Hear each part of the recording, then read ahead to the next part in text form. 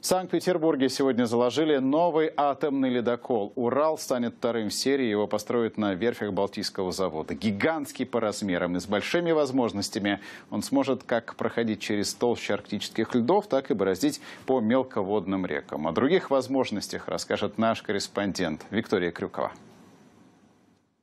Новый ледокол пустится в свое первое плавание уже к 2020 году. Все его детали, все комплектующие российские, поэтому можно сказать, что судно плывет по а, волнам импортозамещения. Сегодня на торжественной церемонии здесь, на Балтийском заводе, присутствовали а, представители Росатома, это глава Росатома Сергей Кириенко, представители Объединенной судостроительной а, корпорации, также на строительство и закладку нового ледокола. Всех присутствующих благословили представители служители церкви после этого. Был подписан договор и повешена такая символичная а, доска с напоминанием о том, что ледокол скоро будет построен. Все необходимые авансы в конце июня месяца перечислили заводу, что позволяет в плановом порядке заказывать оборудование, развертывать весь фронт работ.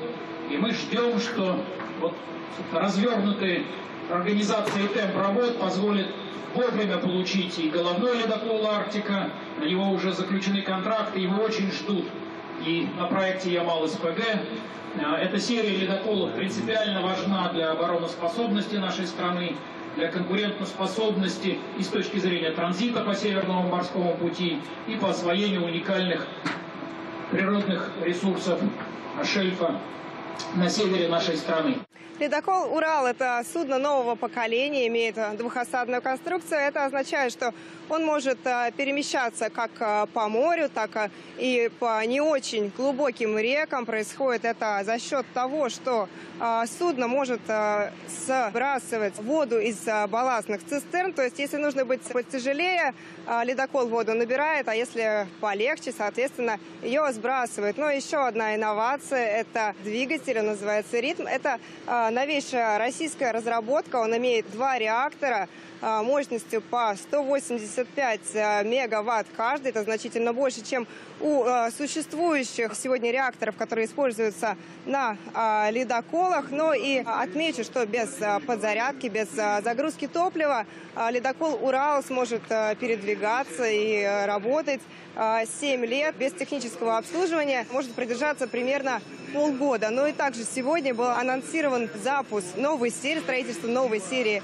ледоколов. Называться они будут лидеры, в отличие от Урала, который может передвигаться по льду в 4 метра, новые ледоколы будут а, перемещаться по значительно более глубокому льду. Проектирование этого судна займет, наверное, полутора лет. А, ну а дальше мы будем уже плавно, плавно двигаться к принятию решения его финансирования. Тогда уже будет понятно, на каком этапе разработки проекта мы можем уже закладывать первые секции и приступать к строительству. Потому что, конечно, это будет судно уже с гораздо более продвинутыми характеристиками. Как мы только что говорили с главным конструктором, там требуется немножко больше экспериментов, больше науки для того, чтобы не угадывать, а предугадывать и фиксировать конструкцию этого будущего ледокола и его новый параметр. Обновление атомного ледокольного флота для России сейчас как нельзя э, необходимо, потому что подходит к концу срок эксплуатации многих э, советских судов. В частности, к 2020 году, когда планируется запуск ледокола «Урал», подойдет к концу эксплуатации, подойдет срок сразу трех ледоколов. Но и опять же отмечу, что запуск новых ледоколов важен для увеличения грузоперевозок по э, Северному морскому пути, нашему такому э, российскому аналогу Советского канала.